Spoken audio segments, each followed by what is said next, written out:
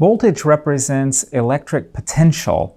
And electric potential is a lot like mechanical potential or potential energy. I think potential energy in terms of a gravity well is something that's a little bit easier to understand.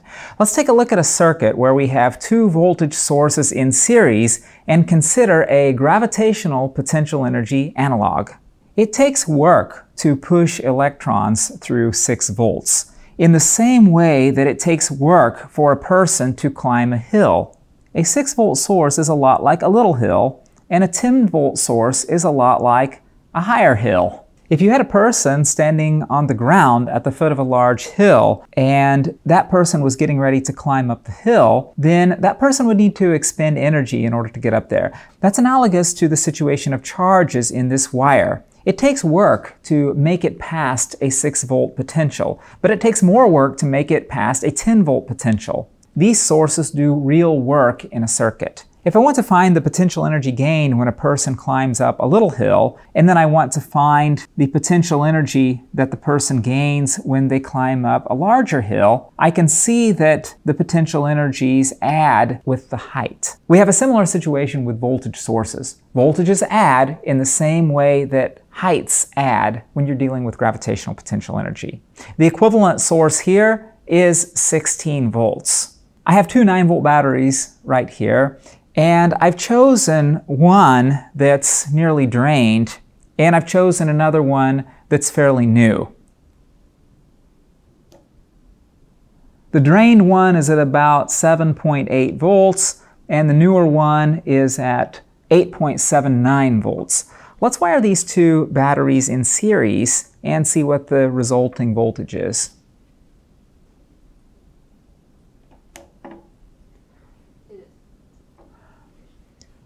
I'm connecting positive to negative, and I'm also measuring between positive and negative across the entire set. The voltages added, I can see that the total voltage here is about 16.6 volts. Let's now consider voltage sources in parallel. If I were to have two perfect 10 volt sources and I wanted to replace them with another voltage source that gives the same voltage, what voltage source would I use?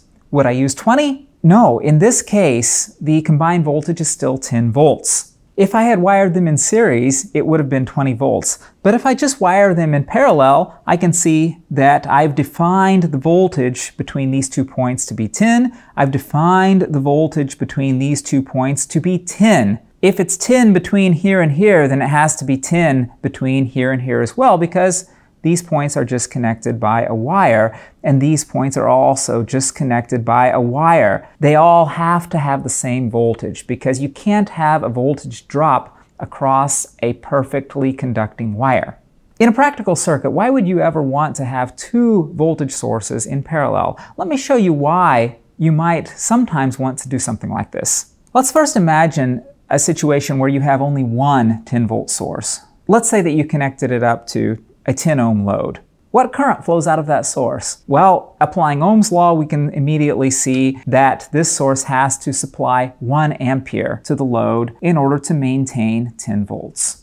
Let's do the same thing with two sources wired up in parallel. Let's connect our sources to a 10 ohm load. We still have 1 ampere flowing to the 10 ohms. But we have two equal sources. Both of them can't give 1 ampere because that would add up to 2. So I'm forced to conclude that each of these sources only gives a half ampere. Each source only has to work half as hard.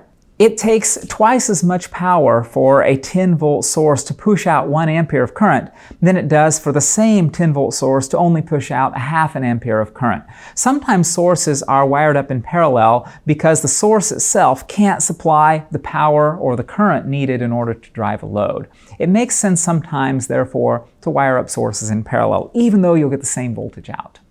What happens if we wire up two sources in parallel, but the voltages are different? What would happen? I want to start off by pointing out that there's a big difference between wiring up batteries in parallel and wiring up perfect voltage sources in parallel. In circuit diagrams, we often represent perfect voltage sources by circles rather than lines. Here on this particular circuit diagram, I'm using lines to represent batteries, that is, real batteries, like the 9 volt batteries right here. If I were instead to represent these batteries by perfect voltage sources, then I would wind up with something that's not physically possible. A perfect 6 volt source is mathematically defined on a circuit diagram as having 6 volts always, all the time. A perfect 10 volt source in a circuit diagram is mathematically defined as having a 10 volts drop across it all the time, no exceptions. Of course, a perfect source doesn't exist in reality, but when we're constructing mathematical models to circuits, that's usually what we mean when we draw that circle around the plus and minus sign in order to represent a voltage source. This is a mathematical impossibility because I've defined these two points in the circuit as having 10 volts across them, and I've defined the same two points in the circuit as having only 6 volts across it. They can't both be right. I've contradicted myself. But this leads us to an interesting question. What happens if we take real voltage sources, real batteries, and we wire them up in parallel? Let me show you what happens. We can model each of these batteries, in this particular example, the 6 volt battery and the 10 volt battery, by perfect sources in series with a resistor. Now, it doesn't mean that the batteries actually have a little resistor inside of them. No,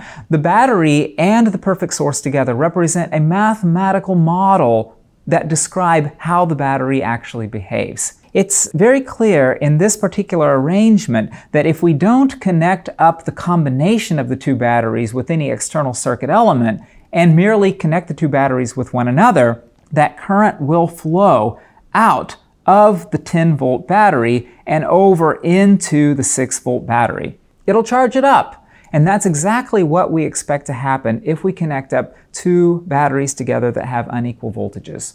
Some batteries are not designed to be recharged, and some batteries are not designed to have a very high current flowing out of them.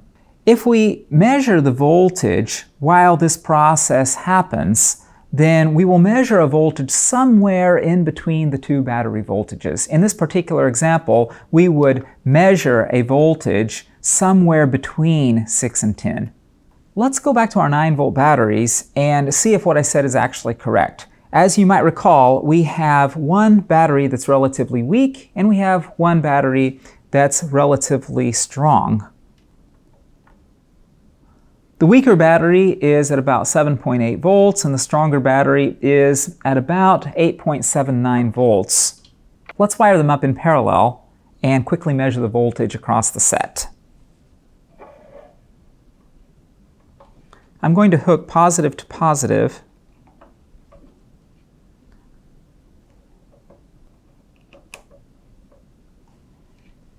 And I'm going to hook negative to negative.